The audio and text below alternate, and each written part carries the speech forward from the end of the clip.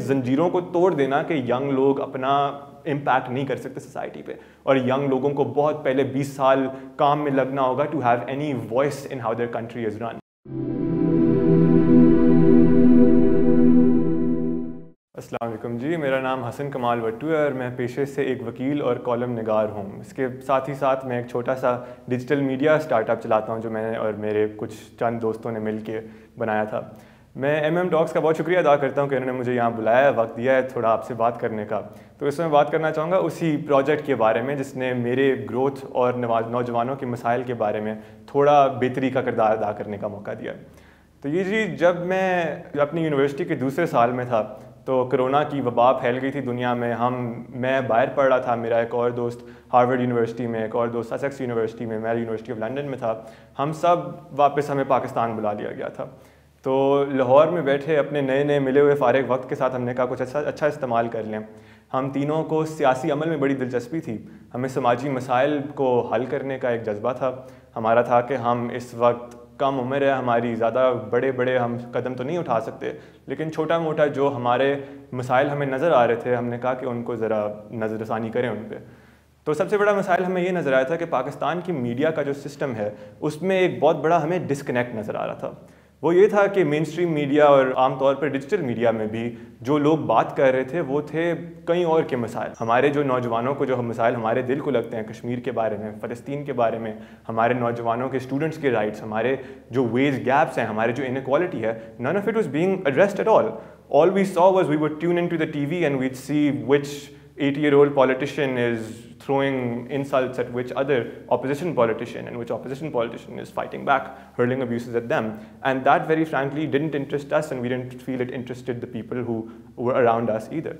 तो हमें ये लगा कि हमारे मीडिया सिस्टम में बहुत रेडिकल एक चेंज की ज़रूरत है और ये रेडिकल चेंज हमारे उम्र के लोगों की तो कोई बात सुनने नहीं वाला था तो हमने कहा कि हमें खुद कोई ना कोई छोटा मोटा कदम उठाना पड़ेगा तो इसके लिए हमने, मैं और मेरे दो बड़े काबिल दोस्तों ने मिल के ये प्लेटफॉर्म बनाया, जिसका नाम हमने रखा नए नज़रिए।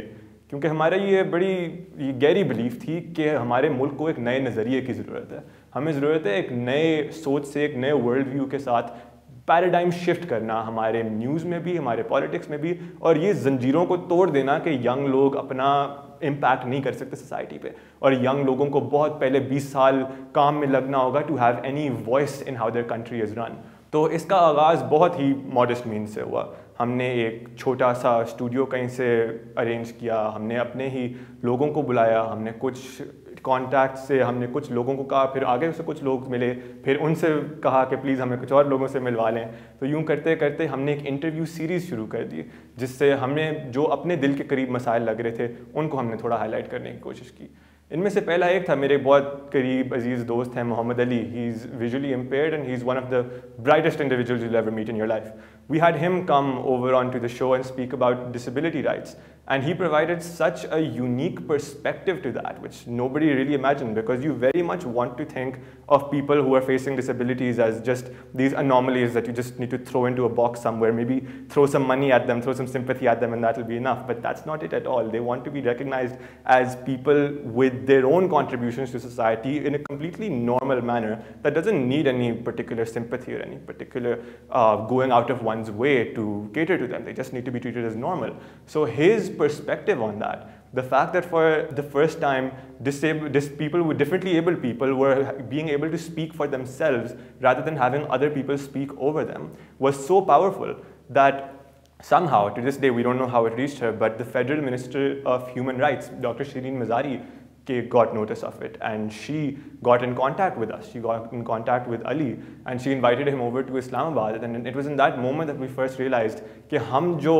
तीन दोस्त मिल के छोटा सा हमने इंटरव्यू सीरीज़ यूट्यूब और इंस्टाग्राम पे हम लगा रहे थे, उसका वाकई में कितना मुल्क के लोगों पर असर हो सकता है। यूँ करते करते हमने कुछ एक्टिविस्ट्स के साथ कुछ थोड़ा हमारे जब व्यूअरशिप बढ़ गई तो हम कुछ फेडरल मिनिस्टर्स तक पहुँच सके। शफकत महमूद साहब के बारे में we got the opportunity to question him about the things that were going on in the country, the education reforms in the country, questions that we have in our mind, whether he's already addressed them or not, take them through a new perspective and just grill the most powerful people in the land about it and get that good answer. And it was from that new perspective, uh, on the news media that we managed to reach a wide audience and the platform evolved as time went on and we got more and more people on board. Or yung karte karte, the people that we met through that project, we met one of a person who I consider my mentor, a brilliant individual by the name of Muhammad, Barrister Muhammad Ahmed Pansota, who was kind enough to call him over onto our show. And before we knew it,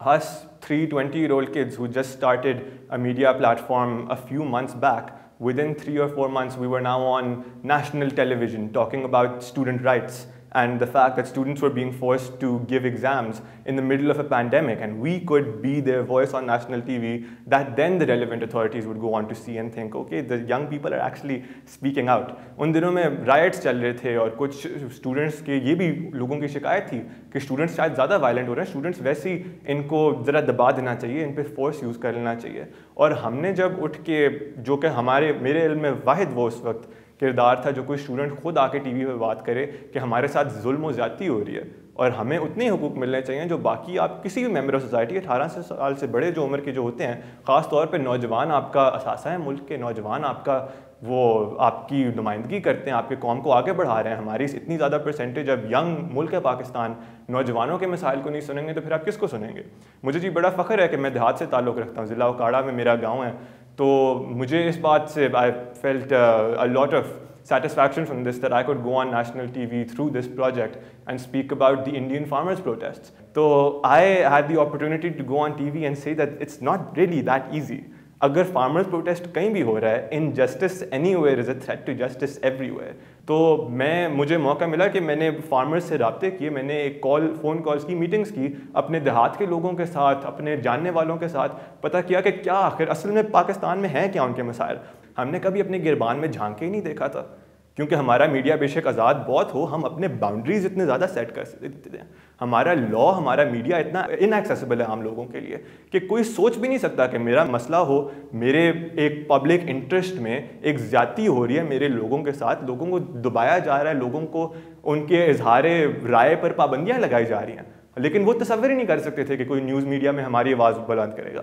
तो मेरा ये बड़ा strong belief है कि it's only when the young people come in and take some things into their own hands and speak about those and speak loud and turn those words into action that you can actually go on to make a difference. Sunlight is the greatest disinfectant and it's only when you take ideas out of closed door discussions and into vigorous public debate that you can actually make law, society, politics, culture, all of it accessible to regular people. वरना अगर हमारा इस वक्त का निज़ाम चलता जाए तो फिर बड़ा unfortunately and sadly to say the status quo will continue and the inequalities that plague our society will continue just as strongly तो मेरा जी गोल है with small tiny little steps that projects like mine have done and much greater